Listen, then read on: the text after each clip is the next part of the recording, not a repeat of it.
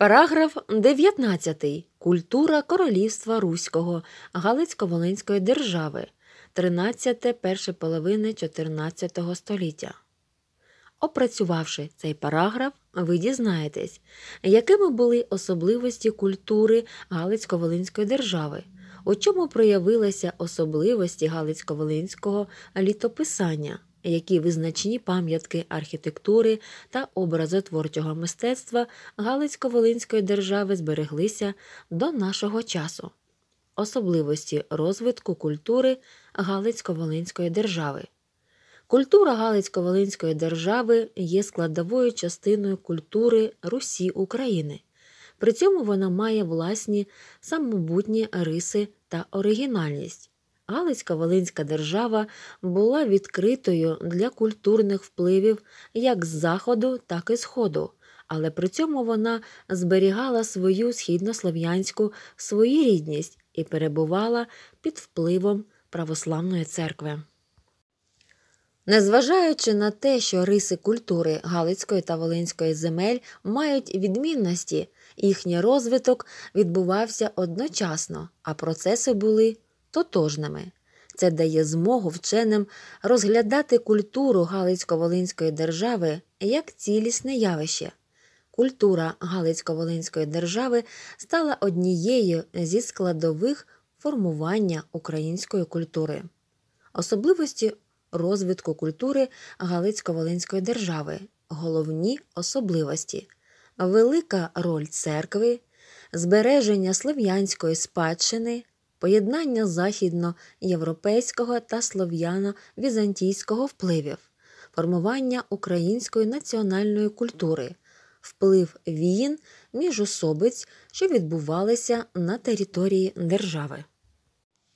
Освіта у Галицькій і Волинській землях освіта продовжувала традиції Русі України. При церквах, особливо при монастирях єпископських кафедрах існували школи, до них приймали хлопчиків із семи років. Пройшовши курс навчання, вони працювали писарчуками в князівській або єпископській канцелярії, ставали священниками або продовжували справу батьків. Поширеним було й домашнє навчання, особливо для дітей бояр. У Галицькій і Волинській землях також діяли бібліотеки при монастирях і князівських палатах.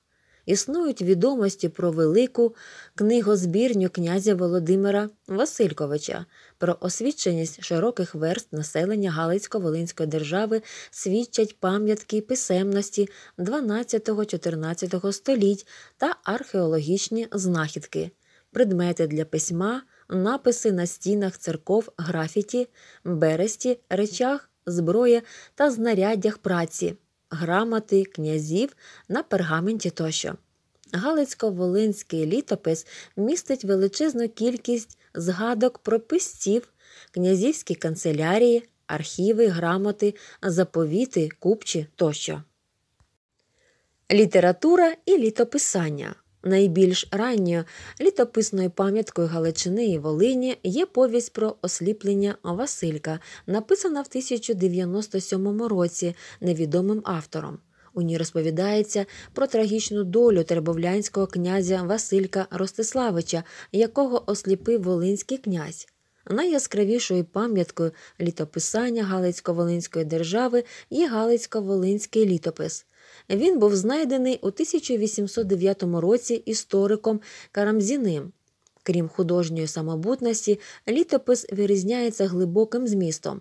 Літописці, яких, на думку вчених, було щонайменше п'ятеро, майстерно передають події тогочасної епохи. Ідейно літопис був спрямований проти боярського свавілля та прославляв руську зброю і руську землю. Літопис також є цінним джерелом для вивчення давньоукраїнської мови. Галицько-волинський літопис складається із двох основних різних за обсягом і характером частин. Літопису Данила Галицького розповідає про події 1205-1258 років і Волинського літопису 1258-1290 років. Літопис Данила Галицького містить окремі повісті, що були об'єднані укладачами в більш пізній час. Центральною темою літопису є життя князя Данила Романовича. Ця праця описує широку картину подій у сусідніх землях Угорщини, Польщі, Литві інших руських князівствах, Золотій Орді. Літопис майже єдине джерело, яке дає змогу відтворити основні події в Мазовецькому князівстві та Литві цього періоду. У Волинському літописі багато уваги приділено розвитку культури на землях Галичини та Волині. Архітектура у Галицьких та Волинських містах переважали споруди з дерева, але було багато і кам'яних будівель, храмів, князівських палаців, замків, укріплених дворів бояр. Спочатку кам'яними були лише храми і князівські палати. Перші кам'яні храми в Галичині та Волині з'явилися досить рано від кінця 9-го, початку 10 століття, що було зумовлено впливом чеської архітектури. На жаль, більшість храмів, збудованих до 13 століття, назавжди втрачена.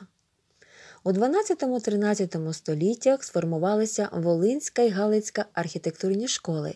На волинських будівничих відчутний вплив справила Київська школа, а галицькі архітектори використовували як традиції Русі України, так і надбання західноєвропейських майстрів. До нашого часу зберігся Успенський собор у Володимирі Волинському. Він був збудований у 1160 році київськими майстрами за наказом князя Мстислава Ізяславича. Ця шестистовпна однокупольна будівля має простий, але водночас величний вигляд. Його сучасник Успенський собор у Галичі, збудований Ярославом Осмомислом у 1157 році, зберігся до нашого часу лише у вигляді руїн. Це був чотиристовпний однокупольний храм, оточений галереями та прикрашений білокам'яним різьбленням. Він є яскравим виразником Галицької архітектурної школи, яка багато запозичувала з поширеного в Європі романського стилю. У Галичі будували не із цегли, а із місцевої сировини, використовуючи алебастер і вапняк. На території міста археологи знайшли близько 30 кам'яних будівель.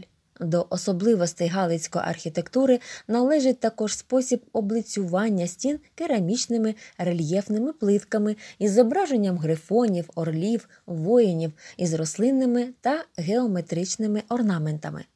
На місці давнього Галича тепер тут розташоване село Шевченкове Івано-Франківської області. До нашого часу збереглася церква святого Пантелеймона 12-13 століття, яка також належить до Галицької архітектурної школи. У 13 столітті в Галицько-Волинській державі велося активне будівництво міст і фортець. Так на Волині поряд із холмом були збудовані укріплені міста Данилів, Кременець, Угровськ, у Галичині Ярослав, Сяник. Усі вони мали оборонні споруди, які були не в змозі здолати навіть монгольські війська з їхньою облоговою технікою. Від кінця 13 століття на Волині під впливом західноєвропейської оборонної архітектури розпочалося будівництво нового типу оборонних споруд донжонів, мурованих веж стовпів. До сьогодні такі вежі збереглися в околицях міста Холм, село Стовп'є, Польща та в місті Кам'янець Білорусь. У 14 столітті розгорнулося будівництво кам'яних замків першим серед яких був замок у Луцьку. Образотворче мистецтво. Мистецька культура Галицько-Волинської держави представлена монументальним живописом, фресками та іконами. Фресковим живописом, який продовжував київські традиції, було розписано головні храми міст Волині і Галича. Проте, починаючи з останньої чверті XII століття будували храми, у яких не було фресок. До таких споруд, наприклад, належить собор у Луцьку. Водночас фрески значною мірою поширилися в князівських палатах. Існують літописні свідчення, що ними були прикрашені палати Ярослава Осмомисла. Усі вони мали світські мотиви. До нашого часу майже не збереглося значних фрагментів фресок за винятком розпису Вірменського собору у Львові, що датується 14-15 століттям. В оформленні храмів Галичини та Волині акцент робили на іконах, які утворювали цілі ансамблі. Спочатку храми прикрашали двома великими за розмірами іконами, що нагадували фресковий розпис. Згодом їхня кількість збільшилася, було створено іконостас, особливу перегородку, що закривала вівтарну частину і складалася з кількох рядів ікон. Ікони, що були поширені в Галичині та на Волині, мали візантійське або київське походження. Згодом тут постали власні школи іконопису. Його розквіт припадає на кінець 13-го, початок 14 століття. Особливістю іконопису цього періоду є те, що він розвивався без суворого контролю з боку церкви або влади. Митці іноді порушували канони, правила, тому зображення на іконах мали легку об'ємність, чим суттєво відрізнялися від візантійських зразків. До найкращих зразків Галицько-Волинського іконопису цього періоду належить чудодійна ікона Волинської Богоматері Одегітрія з Покровської церкви в Луцьку, початок 14 століття. Вона вражає глядача особливою суворістю образів Богоматері і Малого Ісуса, якої не було в іконах попереднього періоду. Свідченням проникнення елементів народного мистецтва є сорочка Ісуса, прикрашена вишитими квітами. Ще одним шедевром іконопису є шанована в Польщі Чехстоховська ікона Божої Матері 14 століття, що була написана в Галичині. У Галицько-Волинських землях у цей період набула поширення скульптура. Цей вид мистецтва розвивався у формі рельєфу, яким прикрашали храми. Яскравим зразком скульптури цієї доби є шиферний рельєф 13 століття із зображенням святого Димітрія, а зараз він зберігається в Кам'янець-Подільському музеї. Під час розкопок руїн Успенського собору в Галичі було знайдено рельєфне зображення дракона, із пащі якого виростає пишна гілка, щедро прикрашені рельєфами також церкви святого Пантелеймона в Галичі та Іоанна Златоуста в Холмі. Їхнім творцем був великий хитрець Авдій. Це перше ім'я майстра скульптури, яке знає історія українського мистецтва. Мистецтво Галицько-Волинської держави представлене і книжковою мініатюрою, розквіт якої припадає на 13 століття. Нечисленні мініатюри рукописів, що збереглися, належать виключно до високопрофесійних зразків. Найдавнішим ілюстрованим рукописом Галицько-Волинської традиції, що зберігся до нашого часу, є Добрилове Євангеліє 1164 рік у якому містяться чотири мініатюри євангелістів на тлі обладнання книгописної майстерні. На території Галицько-Волинської держави археологи знайшли багато скарбів із різноманітними ювелірними прикрасами.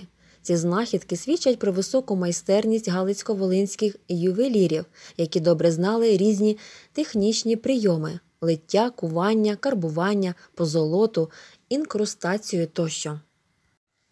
Найстарішою іконою, що збереглася в Галичині, є фрагмент візантійської ікони Менологія, кінець 12-го, початок 13 століття. Вона була знайдена в 1930 році в церкві святого Миколая в Турії поблизу старого Самбора Львівська область але до науковців потрапила лише в 1983 року. Зображені на ній фігури святих мають підкреслено видовжені пропорції з малими головами. Одяг святих поданий у темних тонах, серед них виділяється постать великомученика Георгія. Запам'ятайте дати 1157 рік будівництво Успенського собору в Галичі. 1160 рік будівництво Успенського собору у Володимирі. Кінець 13 століття будівництво мурованих веж стовпів на Волині.